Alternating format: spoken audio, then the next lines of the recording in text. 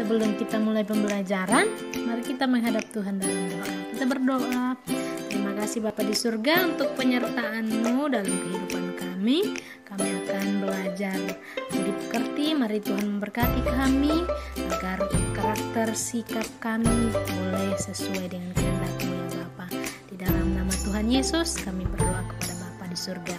Amin. Anak-anak, sekarang kita akan mulai belajar di pembelajaran yang kedua tentang manusia baru selalu ingin berdamai. Ya, itu anak-anak silakan membukanya di modul halaman yang ke-10. Arti manusia baru adalah kita sebagai manusia yang tadinya kita hidupnya nakal, kita egois, kita maunya menang sendiri. Nah, kita sekarang hidup dalam hidup yang baru. Contohnya, kita meninggalkan semua yang kita lakukan itu hal-hal yang tidak baik, kita tinggalkan dan kita mau hidup dengan baik. Kita mau ke depannya hidup menjadi anak yang suka dengar-dengaran, belajar taat, dan hal-hal yang baik kita lakukan ke depannya sehingga kita menjadi anak-anak yang mempunyai karakter yang baik. Jadi manusia baru itu adalah hidup dengan karakter yang baik dan tidak lagi melakukan hal-hal yang tidak baik. Salah satu contoh dari kisah yang ada di halaman 10 tentang kisah dua kambing pegunungan. Nah, di dalam kisah ini, kisah kedua kambing ini kita akan belajar satu sikap yaitu tidak mau mengalah satu sama lain. Ya, ada sebuah jembatan dan jembatan itu sempit.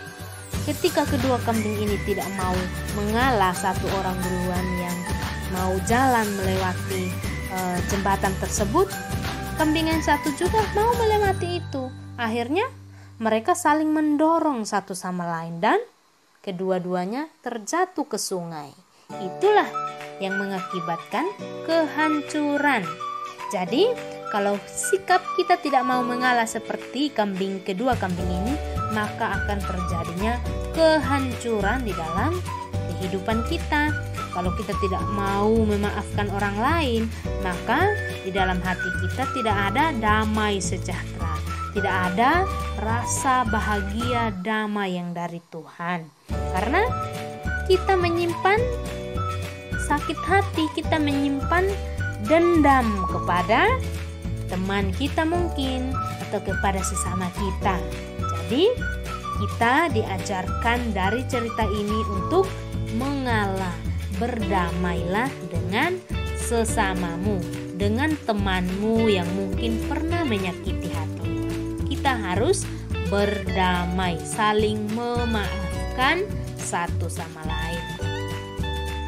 Nah, contoh yang kedua ini tentang hidup berdamai. Ya, di situ juga ada kisah tentang hidup berdamai. Anak-anak coba membacanya baik-baik. Nah, di situ di dalam kisah ini menceritakan tentang saling memaafkan, saling mengalah, hidup berdamai dan akan ada sukacita di dalam hati kita. Kalau ada kedamaian, kalau ada saling mengalah di dalam hidup kita, pasti ada yang namanya hidup damai. Anak-anak, menjadi pertanyaan untuk kita adalah apakah kita sebagai anak-anak yang muda bergaul, apakah kita merasa membangun hubungan yang harmonis dengan teman-teman kita? Ataukah kita suka mengkritik daripada memberikan pujian, berkata dan bersikap kasar, menghina orang lain, menertawakan kekurangan orang lain, tidak mau mendengar pendapat orang lain, selalu merasa benar, dan meremehkan pendapat orang lain? Jika ya, berarti kita belum menjadi duta atau kita belum menjadi menghadirkan damai itu di tengah-tengah orang-orang yang ada di sekitar kita. Jadi anak-anak, kita marilah kita saling memberikan kedamaian. Jangan biarkan perbedaan mencerai-berai persatuan kita. Kita boleh berbeda, tetapi kita harus hidup rukun, damai dalam persatuan. Kita tetap hidup bersatu. Jangan membeda-bedakan sesama kita.